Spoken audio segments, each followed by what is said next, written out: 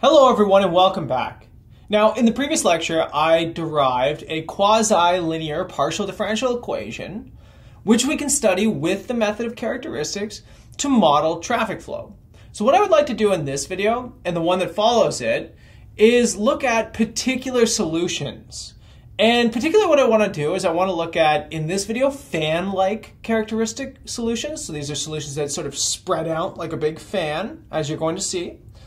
Or shock waves, which we'll look at in the next video, which are characteristics that sort of collide on each other and they sort of collapse and form these sharp singularities. So let's go back to our traffic model from the previous video.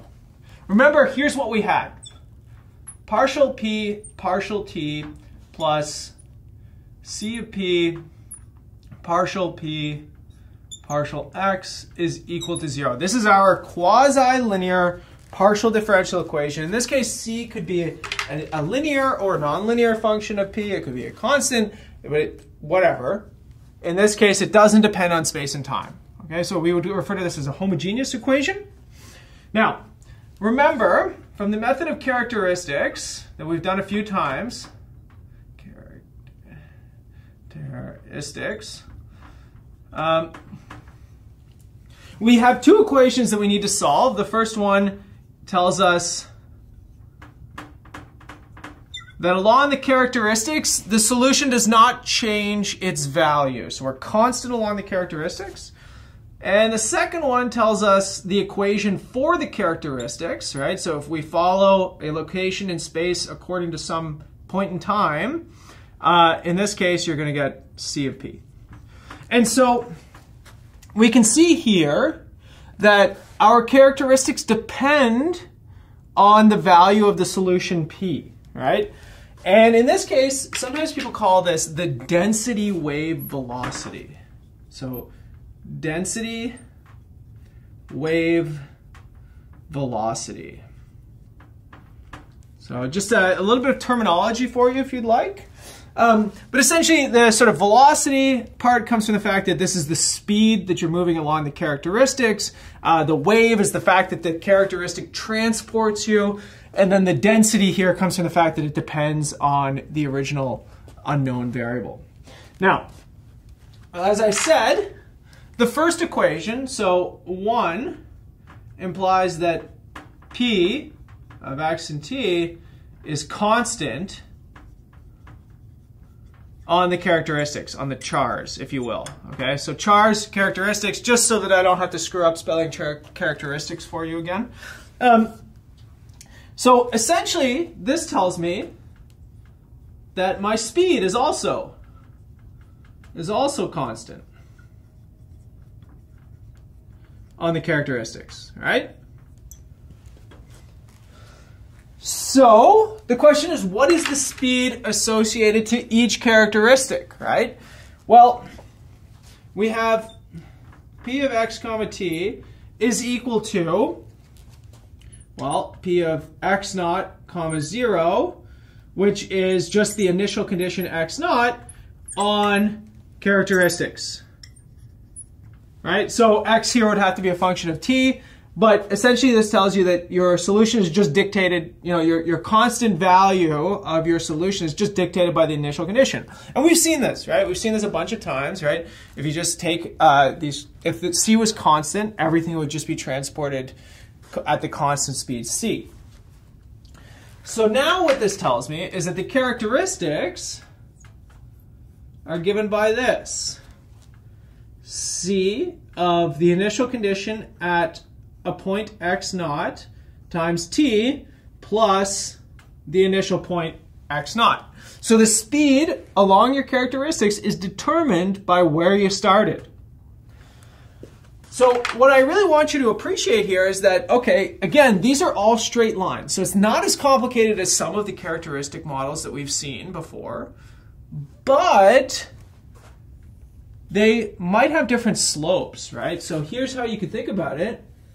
If this is a space-time plot and we try and put our characteristics on it, well, maybe for example here, uh, my slope is such that my characteristic might look like this.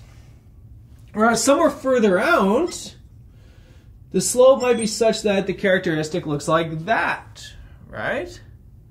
And so it's not just a bunch of parallel lines, it's a bunch of characteristic curves or lines that each have potentially a different slope.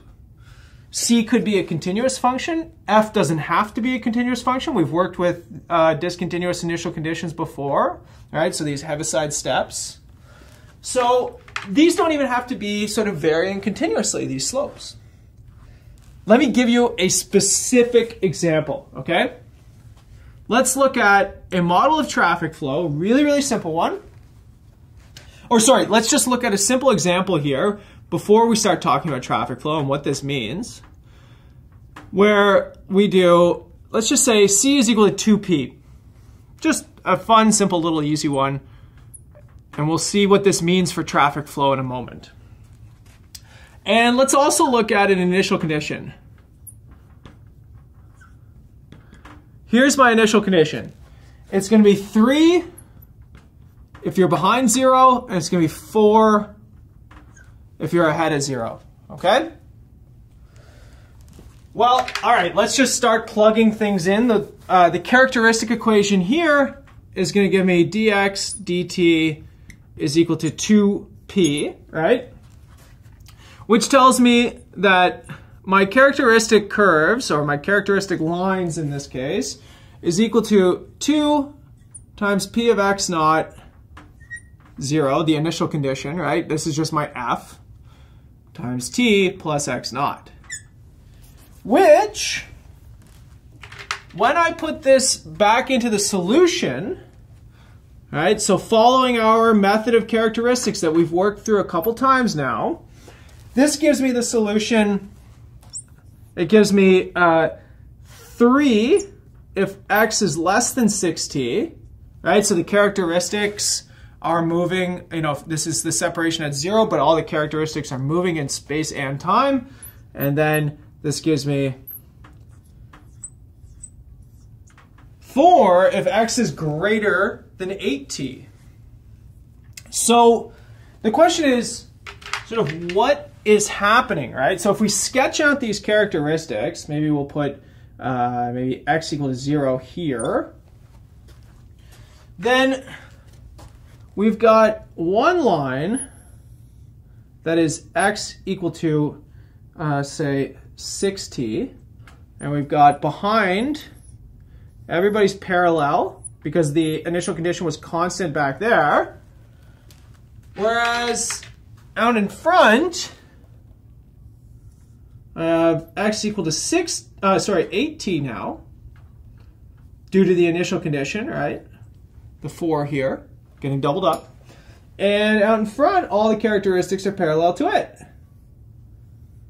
Right? So what's happening here is that the front, this part that has 4 of this initial condition, is getting transported faster than the back, which had a 3. Right? So this part's running away. And so then we have the big question to ask ourselves, uh, what about in here, right? There's, there's clearly a gap that's missing in here, right? There's between 6t and 8t. And does the solution just not exist there?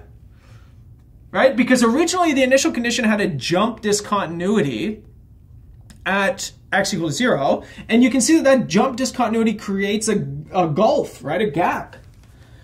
So how do we handle this? Well, one way we could do this is we could imagine the following. Okay, so I'm going to sort of squeeze this in. I'm going to think of this as a set valued function. Okay, very strange way to think about this. It's probably something you're not that familiar with. But in this case, I'm going to assume that this takes on all of the values between 3 and 4 when x is equal to 0. So that means that my, my initial condition looks like this. 3, everything between 3 and 4, 4. Okay? So everything is represented here. It's not a jump discontinuity. This is a set valued function. And so essentially what happens there is at x equals 0, all of the values in this set start to fan out.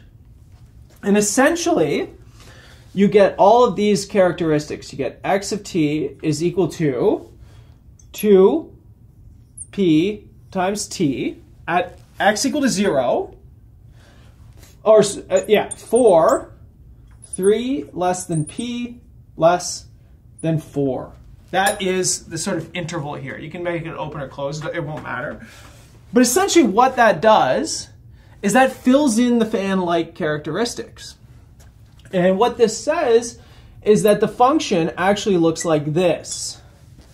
It looks like x over 2t for 6t less than x less than 8t. And so essentially, the way you can think about this is that jump discontinuity, because the front is moving, like the, the part with the four is moving faster away than the part with the three, it's no longer jump discontinuity. It's sort of sliding itself outwards. It's taking what was a jump discontinuity and making it a function again. And so what's happening in, in between here is the function is sort of being interpolated, right? So it was four up, up ahead, it was three way behind, and then there's this connection in between that goes all the way from four down to three. And in this case, that connection is getting larger and larger, right? It's separating in time because the front part of the wave is going faster than the back part of the wave, right? The front part's running away. So the question is, how can we apply this to the traffic problem? So let's apply. And again, if you've ever had to sit in traffic, you will probably be familiar with this situation. Here's my model, okay? So it's not going to be as simple as this. It's not going to be 2, 2p here, but it's going to be very similar.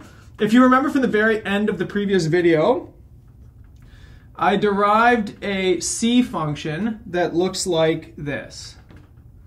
2p over p max. So you might have to remind yourself with the end of the last video, px is equal to 0.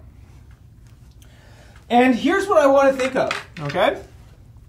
Here's my initial density, p of x0, and I'll, I'll show you what this means in a second. It's p max for x less than 0, and it's 0 ahead. Here's how I'm thinking about this initial condition sitting at a red light at x equal to zero. Because of the red light, there are there is no density of cars on the road ahead of the light, right? Imagine that it's a very long light, and so everybody who got through the light is long gone.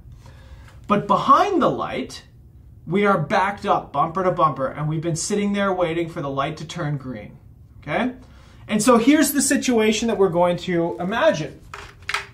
We are going to imagine that at time zero, that light turns green. Now, what happens? You can imagine this, right? You know what happens because you've probably done this. If you were the first car, you see it turn green and you get excited and you start pulling away. But then the guy behind you has a little bit of a delay, right? Sure, he sees it turn green, but he's still got to wait for you. So he gets, the, the first one gets away, and then there's a little delay where the next guy goes. And then the third person in line, maybe they can see the light turn green, but what they're focused on is the person in front. And so you have this sort of propagation backwards that slows people down behind the the um, behind the uh, the the red light. And so the fan-like characteristics, so we call these fan-like characteristics because you're fanning out. In this case, this gives the solution, which is going to be the following. So it's going to be full density for, uh, sorry, x less than minus u max times t. Okay, so this is the delay. You know, this is the delay time that it's waiting to get way back. Imagine this is a long, long line of red lights. You could also think of this as a train that went by that slowed people down. But then so these are the people who are still waiting to be able to move after the light turned green. Then you've got the fans. So you have P max over 2 times 1 minus x over u max. uh, sorry, u max of uh, times t, sorry. And this is the people who have been close enough to the light and are able to proceed. I think that went over for you if you're watching. Uh, this says minus u max times t is less than x, which is less than u max times t. And way up above, right? Uh, sorry. The density is still zero because the maximum speed was u max, right? So people couldn't get up to this point in space yet. Okay? So essentially, this is what the fan is. It's a red light. It's a train that went by, right? This is a nice way to think about uh, these, these transport equations. They do a very good job of modeling traffic flow. There's a long history of this, and it's for good reason, right? We can see that it actually models things that we experience as drivers, right, in real life. Now, what we're going to come back to in the next video is a look at shock waves. And this is sort of the opposite of fan-like characteristics. It's where everything gets crushed together instead of spreading out. So I'll see you all in the next video, everybody.